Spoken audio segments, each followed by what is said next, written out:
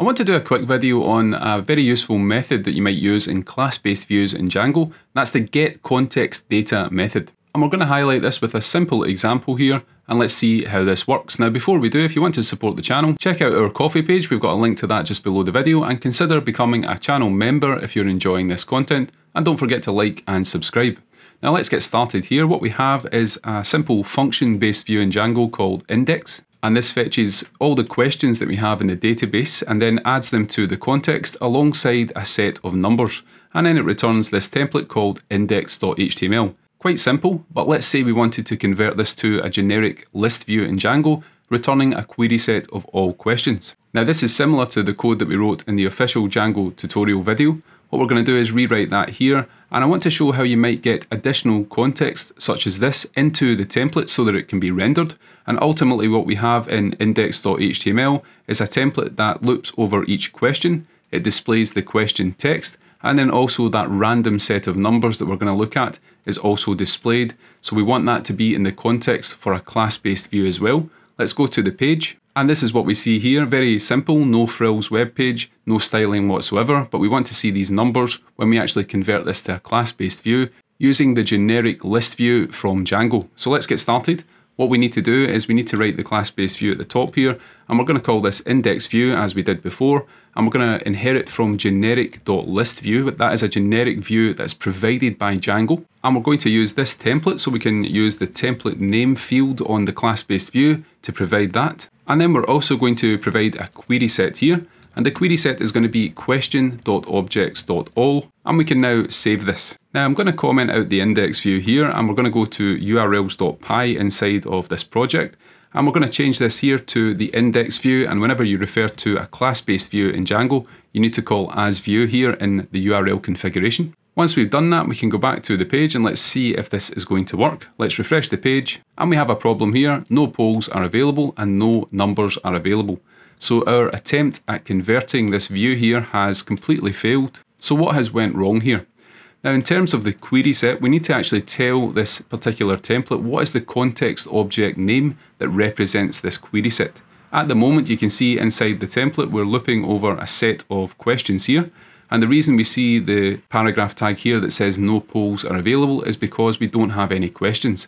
So if we set the context object name, which is a field we saw in the last video, you can see we can set that to questions and hopefully that is now going to work. Now if we go back to the web page and refresh this, you can see we now get the questions appearing in the template. So all you need to do is you need to set the context object name if you want to refer to that query set here by a different name than the default. Now, before we move on to adding numbers to the context, you might be wondering what is the default for the context object name. So let's comment this out. The default is basically the name of the model after we convert the model name to lowercase.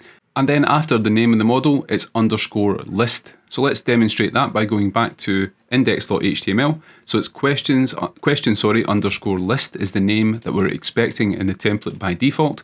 And we can loop over that question list. If we go back to the page here, let's refresh the page and we still get the two objects here. So by default, what the generic list view is going to do is take the name of the model or the query set and it's going to convert it to lowercase and then it's going to add underscore list to refer to the name of that query set. That's the default, but you can of course override that using context object name. Now the key part of this video I want to look at is how to get these numbers into the context. So if you use a list view by default and just provide field names like this, it's only going to add that query set to the context. It's not going to add anything else unless you actually tell it somehow to add additional things to the context. And that's very common. You might want to display a list of objects, but you often have additional context that you also need to display. Now, generic list views have a very useful method, and indeed most Django class-based views have this method. It's called get context data. And you can see the autocomplete here has filled this in a little bit, but what we can do is we can amend this and override it to add additional custom items to the context.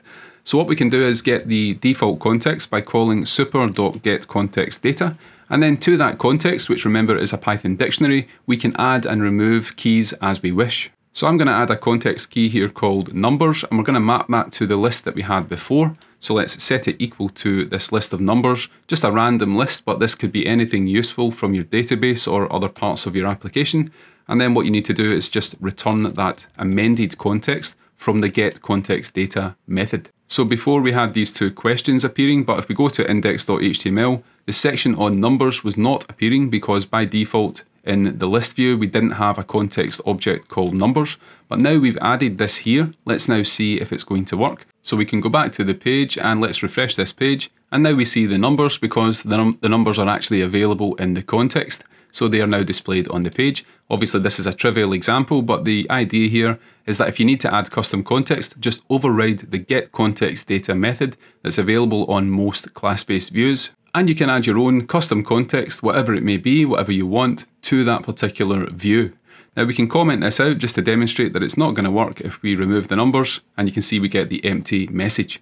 So that's how you add additional context in Django, override get context data if you have a class-based view and provide that additional context and return it. And it's going to be then available in whatever template you've specified for that class-based view. So that's been a short video on the get context data method available in class-based views and generic views in Django. If you're interested in more of these short demonstrations, let me know in the comments. And if you want to support the channel, check out our Ko-fi page. That's linked just below the video, and I'll add this to the Django tutorial playlist that is also available below the video. So thanks very much for watching guys. If you have any suggestions, let me know, and we'll see you soon in the next video.